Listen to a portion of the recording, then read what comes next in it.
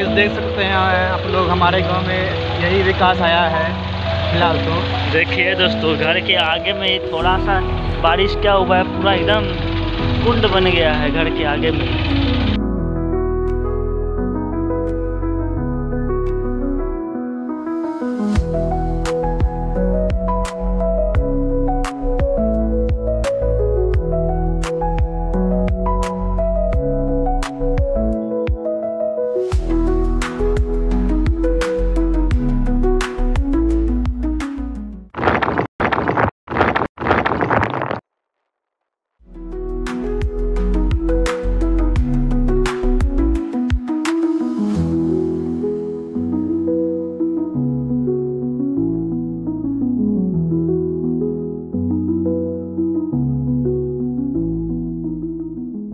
So hello guys welcome back to my channel Rakesh Mishra blog दोस्तों, आज जो हम जहाँ पे खड़े हैं, वो जगह है महदीपुर महदीपुर खगड़िया डिस्ट्रिक्ट में पड़ता है और इसके नियर बाय जो है, वो पसराहा स्टेशन है। तो आज हम जिसके बारे में बात करने वाले हैं, वो है महदीपुर के दुर्गा स्थान के बारे में। जैसा कि आप पीछे देख रहे हैं इस मंदिर के बारे में कहा जाता है कि इस मंदिर को बनाने में कम से कम लगभग पाँच से छः करोड़ का खर्चा आया है। और यहाँ के मतलब इस मंदिर में मंदिर में जो मिस्त्री बनाया था, वो यहाँ के नहीं थे, वो बंगाल से, यानी कि कलकत्ता से आए हुए थे। वहाँ के लोग मिस्त्री को ही यहाँ का ठीका दिया हुआ था इस मंदिर को बनाने का। और ये जो मंदिर है, ये मंदिर मतलब बिहार में सबसे टॉप पर आता है, क्योंकि इसका बनावट जो है सब मंदिर में से अलग है। और इसका सजावट यानी कि डिज़ाइन जो कह सकते हैं, इसका डिज़ाइन औरों के मंदिर से बहुत ही अलग है। तो आगे हम आपको दिखाएँगे अंदर जाके कि किस तरह से डिज़ाइन किया गया है इसके मंदिर में। दोस्तों, ये है मंदिर का मेन गेट अभी बन ही रहा है। देखिए, इसका डिज़ाइन किस तरह से किया गया है। मतलब ये आपको हर एक मंदिर में देखने को नहीं मिलेगा। देखिए, आगे भाला लेके खड़े हैं। और मोड़ का भी डिज़ाइन है। और भी अगर ये रंग रंग पेंट अगर इस गेट को करेगा तो बहुत ही अद्भुत लगेगा देखने में। अब दोस्तों पीछे जो, वो सारे लड़के दिख रहे हैं आपको, अब उनसे मतलब यहाँ के बारे में कुछ पूछे तो इस तरह से लजाने लगा कि अब जैसे लग रहा है कि वो उसे क्या ही करवा लें। तो एक बात बता देते हैं आपको कि अगर आप कुछ भी करते हो तो सबसे पहले अपना जो वो होता है कि शर्म आ रहा है शर्म को छोड़ना पड़ेगा।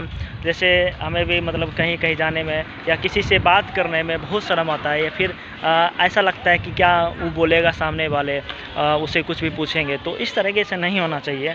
आप अगर ब्लॉगिंग करते हो या फिर कुछ भी है कोई भी अगर पढ़ाई वढ़ाई के बारे में अगर किसी से पूछोगे बेझिझक पूछो कोई दिक्कत नहीं है। बाकी मैं आपको दिखाना दिखाऊँगा कि इस मंदिर जो है ये मंदिर के अंदर जाके और तो दोस्तों, अभी हम जाएँगे मंदिर के अंदर और आपको दिखाते हैं कि किस तरह से इस मंदिर के अंदर छोटे छोटे चीज़ को इस तरह से डिज़ाइन किया गया है कि देखने में बहुत अच्छा लग रहा है। तो ये अभी आगे का सीन है। देखिए, झूमर कितना सुंदर बनाया गया है और झूमर के अगल बगल जो डिज़ाइन किया गया है, बहुत ही अच्छा लग रहा है देखने में और इस पर पैंट जो किया हुआ है गोल्डन कलर का, वो भी और मतलब चमक बढ़ा देता है इस डिज़ाइन पर तो अभी और अंदर जाते हैं। ये मेन गेट है और और हाँ देखिए, किस तरह से मतलब ऐसा लग रहा है कि सोने का मंदिर है और गोल्डन कलर जो ऊपर से किया गया है इस, डिज़ाइन के ऊपर और भी अच्छा लग रहा है।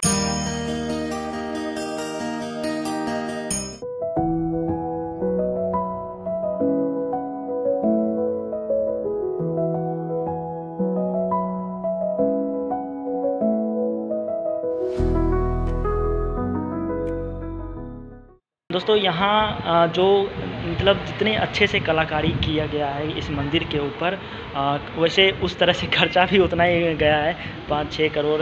तो यहाँ के लोगों से हम बात किए तो उन्होंने बताया कि लगभग पाँच छः करोड़ का खर्चा आया इस मंदिर को बनाने में।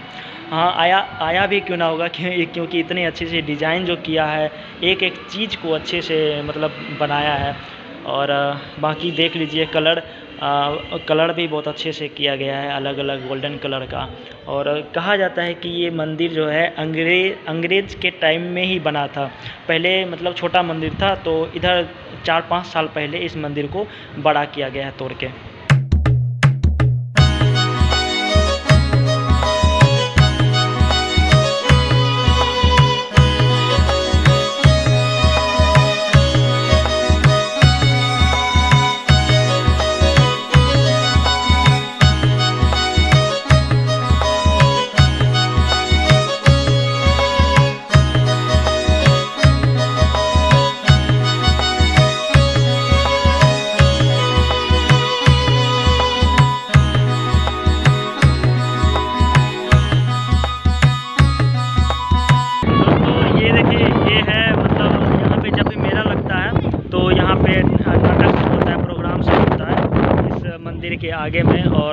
काफ़ी फैला हुआ जगह है और जब भी मेला लगता है तो पूरा भर जाता है झूला उला से पूरा झूला होता है। तो दोस्तों ये भैया हैं इनसे पूछेंगे यहाँ के बारे में कि अच्छा भैया बताइए कि यहाँ मेला कब कब लगता है?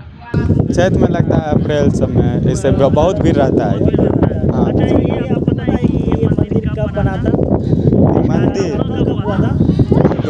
2007 समय से 2007 हाँ तो चालू हुआ दो हज़ार उन्नीस से। अच्छा यहाँ जो मतलब ये मंदिर को यहाँ के लोगों ने बनाया मतलब यहाँ के मिस्त्री में बनाया कि बाहर से आया था? बाहर से बाहर से यहाँ कलकत्ता सबसे अच्छा तो जो दोस्तों दे जैसा कि इन्होंने बताया यहाँ के जो रहने वाले लोग हैं यहाँ बताए कि बाहर के मिस्त्री लोग आए थे मंदिर को बनाने के लिए। तभी इतना अच्छा डिज़ाइन से बना हुआ है। कहा जाता है कि बिहार का सबसे अ, मतलब बहुत ही नंबर वन पे आता है मंदिर महदीपुर बिहार खगड़िया डिस्ट्रिक्ट के जो मध्य मध्यपुर जगह पे है और पर्वता प्रखंड में ये पड़ता है। इसका नियर बाई स्टेशन जो है पसरा है। अगर आप आना चाहते हैं तो रेलवे रे, ट्रेन के थ्रू अगर आप आना चाहते हैं तो नियर बाई पसरा स्टेशन है। और यहाँ से बस भी चलती है, अगवानी बस स्टैंड से, परबत्ता से, नया गाँव से, ये सब जगह से बस भी चलती है इस रूट के होते हुए। तो वो उसके थ्रू आप आ सकते हो। तो दोस्तों, हम ब्लॉग यहीं ख़त्म करते हैं। मिलते हैं एक नए वीडियो में, नई जगह में। तब तक के लिए जय हिंद।